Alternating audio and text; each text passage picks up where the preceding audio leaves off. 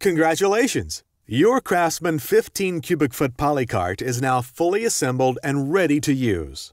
For additional help or replacement parts, please call Sears at 1 888 331 4569 during regular business hours or visit www.sears.com.